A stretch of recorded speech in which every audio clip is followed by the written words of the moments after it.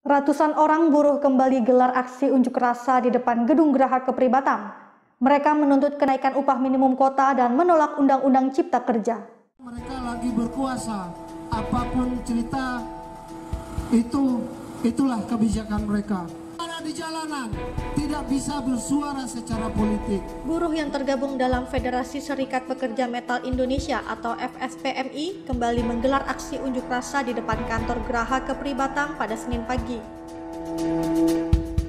Aksi unjuk rasa kali ini merupakan bentuk solidaritas dengan FSPMI Pusat yang menginstruksikan aksi serentak di Indonesia menuntut kenaikan upah kerja agar Omnibus Law dicabut.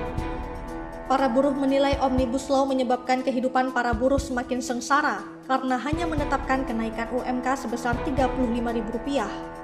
Angka tersebut dianggap lebih kecil dibandingkan inflasi 2022. Dari tiga tahun menjadi lima tahun. Tahun 2022 hanya sebesar 0,8 atau Tidak mendapatkan tanggapan, buruh kemudian melanjutkan aksinya ke depan kantor DPRD Kota Batam dan diterima pimpinan DPRD Batam. Ketua Konsulat Cabang FSPMI Kota Batam Yapet Ramon menyebutkan, penolakan dilakukan karena Mahkamah Konstitusi telah memutuskan bahwa Omnibus Law inkonstitusional bersyarat.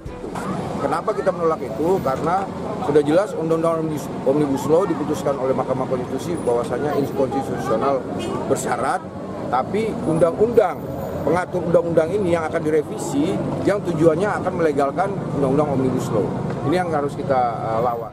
Dalam penetapan UMK Batam 2022 pada tanggal 1 Desember 2021 lalu, Gubernur Kepri menetapkan UMK Batam sebesar Rp4.186.359 atau naik sebesar Rp35.000 dibandingkan tahun sebelumnya. Dari Batam, Liston Manurung, tim iNews memberitakan.